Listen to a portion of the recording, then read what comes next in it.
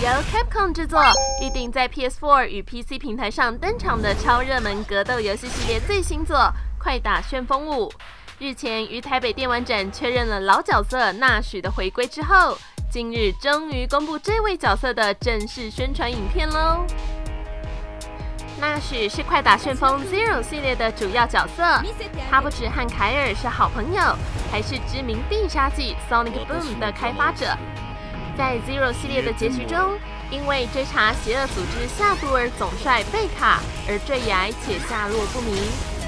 即将在五代回归的他，身上不只有满满的改造痕迹，还能够看到他施展大幅改变的各种必杀技，并且利用新的瞬间移动能力来痛殴对手，风格可以说是和以前有极大的差异。